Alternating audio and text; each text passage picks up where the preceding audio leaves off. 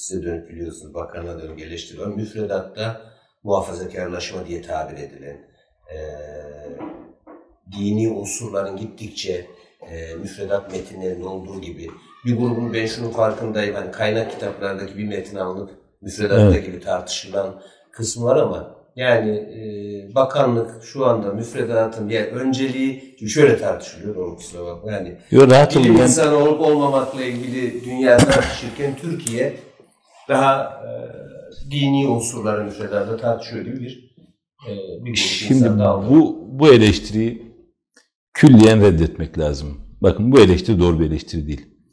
Eğer muhafazakarlaşmak ile dindarlaşmayı eş anlamda kabul ederseniz ve Türkiye'deki e, eğitim sistemi dindarlaşıyor anlamında tırnak içinde bu kavramı kullanırsanız muhafazakarlaşmayı bu eleştiri yanlış bir eleştiridir. Ancak bu eleştiriyi şöyle yaparsanız evet Türkiye muhafazakar bir e, ülke pozisyonda eğitim sisteminde böyle derseniz burada şöyle bir haklılık payı var.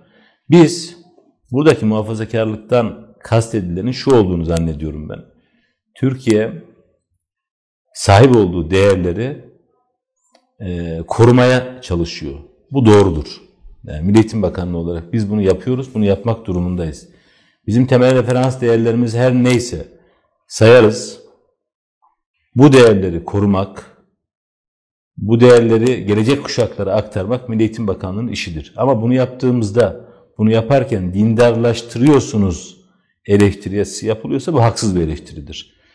Birinci anlamda evet doğrudur. Biz eğitim sistemimizde çocuklarımız geleceğimizin bizim gibi şu anda yaşadığımız toplumsal yapı gibi birbirine karşı bu coğrafyada, bu bayrak altında, bu ülkede yaşamak konusunda mutlu olan, bir arada yaşamayı arzulayan, demokrasiyi, hukuk devletini, cumhuriyet değerlerini özümsemiş insan olarak yaşamasını ve bu arzunun, bu isteğin korunmasını istiyoruz. Bu anlamda bu değerleri muhafaza etmek istiyoruz.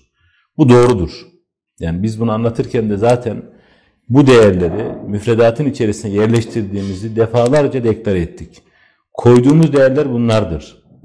Bu eleştiri yapanlar siz dindarlaşıyorsunuz eleştirisini yapıyorlarsa haksızlardır. Bu eleştiri doğru değildir. Hiçbir metnin içerisine, hiçbir müfredattaki herhangi bir bu değişiklik sonrası herhangi bir şekilde dini referansa ya da dindarlaşma anlamında herhangi bir yenilik, herhangi bir kavram girmemiştir. Ama biraz önce söylediğim değerler çerçevesinde bu değerleri korumak, gelecek kuşaklara aktarmak noktasında doğru. Biz değerler eğitimini bu anlamda e, üzerine durulması gereken çocuklara, gelecek kuşaklara kazandırmak açısından önemli bir e, ilgi alanı, etki alanı olarak görüyoruz ve bunun için de müfredatımızda değişiklikler yaptık. Doğru.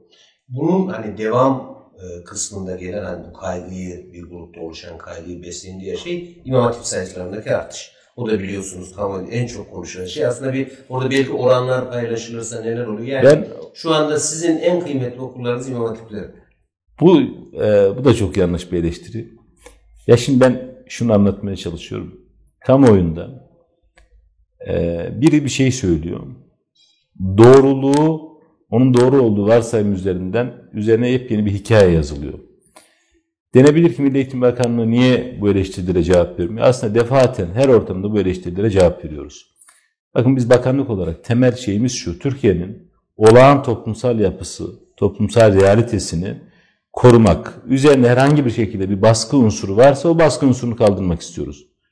İmam Hatiplerle ilgili eleştiri çok yanlış bir eleştiridir.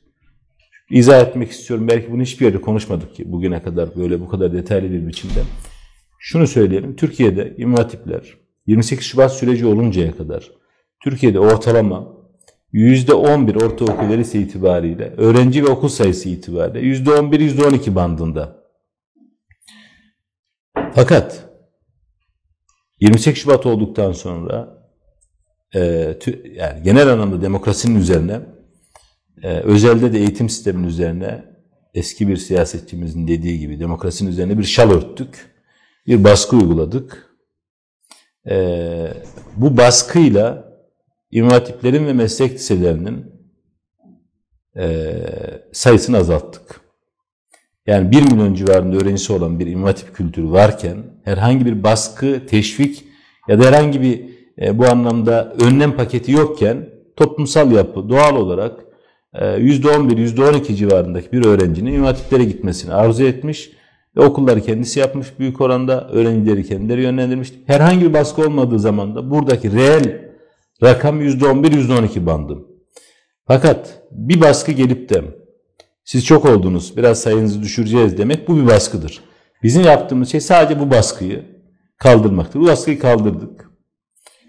Şimdi millet diyor ki imam hatipler yapılırken yani bu eleştirileri yapan diyorlar ki imam hatipler yapılırken herhangi bir araştırma yapılıyor mu? Evet yapılıyor. Bakın geçen yıl biz yatır, yani 2017 yatırım programımızı oluştururken TEOK yerleştirmeleri neticesinde öğrencilerin tercihlerini dikkate aldık. Yani 8. sınıf öğrencilerinin yüzde kaçı ilinde ki herhangi bir İmam Hatip okulunu, İmam Hatip Lisesi'ni e, ilk 5 tercihinin arasına yerleştirmiş. Bunu biz bir baz olarak aldık ve dedik ki burada tercih edilen tercih eden öğrenci sayısı ile tercih edilen okulların kontenjanı arasında bir korelasyon var mı yok mu ona baktık. Bazı illerde bu sadece 2017 yatırım programımız için konuşuyorum. Bazı illerde tercih eden öğrenci sayısı fazla, kontenjan az. Bu demektir ki o illerde İmam talebi var. Öğrenciler için İmam Hatip Lisesi açılabilir. Bazı illerde de tercih az ama kontenjan fazla. Yani dolmuyor kontenjanımız. Orada İmam Hatip Lisesi falan yapmıyoruz. Böyle bir çabamız, böyle bir gayretimiz yok. Oralar boş kalan kontenjanlar var. Onu doldurmak için bazı kararlar alıyorlar. Mesela hangi kararı alıyoruz? Ben e, bana anlatsın birisi. Bunlar bakın böyle çok bilimsel e, bir veri olmadan konuşulan şeyler çok doğru şeyler değildir. Şu anda bakın bizim e, Türkiye için ortalama demek ki 28 Şubat sürecini bir bant olarak kabul edersek eğer Türkiye'de İmam Hatip talebiyle e, okullaşma arasındaki korelasyon %11-%12 bandında. Bizim de şu anda millet böyle soruyorum bu eleştiri yapan kişilere sizce Türkiye'de kaç tane İmam Hatip Lisesi vardır? Vallahi bilmiyorum. Peki oran söyleyin diyorum. Ya en az %50'si İmam Hatip Lisesi'dir diyor. Şimdi bu, bu bilgi düzeyindeki bir kişiyle herhangi bir şeyi tartışmak doğru değil. Bakın bizim şu anda e, orta öğretimde %11 bandında İmam Hatip Lisemiz var. %43 bandında meslek lisemiz var. Geriye kalan okullarda normal orta öğretim genel müdürlüğü bünyesindeki Anadolu liseleri, fen liseleri, sosyal bilimler liseleri, güzel sanatlar ve spor liseleridir. Şimdi bu veriyi bilmeyen insan böyle her tarafı imam doldurduğunuz eleştirisini yaptığı zaman soruyorum. Sizce kaç tane imam lisesi vardır? Yani kaç lisemiz var bizim? Kaç tanesi imam lisesidir? Sayıyı bilmenizi beklemiyorum. Tamam geçtik. Ve oran olarak nedir? İşte bu kulaktan dolma bilgilerle okulların çoğusu imam hatip. Böyle bir şey yok. Böyle bir talep de yok. Talep olmadığı bir yerde biz elimizdeki kaynağı imam aktaracak durumda da değiliz kuşkusuz. Yani böyle bir e, düşüncemiz de yok zaten. Biz sadece insanların taleplerini karşılamaya çalışıyoruz. Kamu olarak insanların talepleri üzerine herhangi bir baskı olmasını istiyoruz. Yaptığımız şey bu. Dolayısıyla bu imam eleştirisi çok kulaktan dolma bir eleştiri. Diğeri... Ha, bir, bir, bir nokta daha var onu da söyleyeyim. Sorunuzun son kısmında söylediğiniz imam sizin göz bebeğiniz. Bu eleştiride yalnız yanlış. Bizim bütün okullar bizim göz bebeğimizdir. Biz bütün okullarımıza aynı hassasiyetle yaklaşıyoruz. İmam hatiplerle ilgili sadece şöyle bir farklılık var. Türkiye'de hayırsever kategorisinde okul yapan insanların en çok yaptığı okul türü imam hatip. İmam hatip yapmak istiyorlar. Yani bir iş adamı, herhangi bir hayırsever, e, dini duyguları sebebiyle olabilir, başka tür gerekçelerle olabilir. İmam Hatip Lisesi yapmak istiyor. Ee, ve bizim İmam Hatip Lisesi'ni yaparken de bu okula ben, ben annemin adını, babamın adını vereceğim dediğinde kendince maliyetini kendisi karşıladığı için özgün bir proje yapıyor. Bu anlamda İmam Hatipler içerisinde özgün proje sayısı biraz farklı olabilir. Ama bunların hepsi hayırsever projeleridir. Bizim okul standartları itibariyle bizim için yapacak... Önemli ya bu arada. Şey... E tabi. E, bizim okul standartları itibariyle İmam Hatip standardı ya da Anadolu Lisesi standardı diye bir standartımız yok. Bizim orta öğretim kurumu standartımız var. Yani bir lise öğrencisi için e, herhangi bir okulda kaç derslik olmalıdır?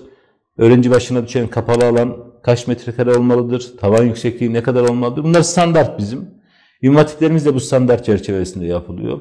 Farklı olan İmam Hatipler sadece hayırsever katkısıyla yapılan kendisi kendi projesini çizdiriyor. Belki arazisini kendisi bağışlıyor. böyle bir arazi üzerine istediği tarzdan bir okul yapıyor. Bizim bunun dışında İmam Hatiplerle ilgili tip projelerimiz bizim standart. Meslek Lisesi'nde de standart, Anadolu Lisesi'nde de standart, Hatip'te de standart. Farkı, farkı şu. Meslek Lisesi'nin ihtiyaç duyduğu e, atölye imkanı vardır.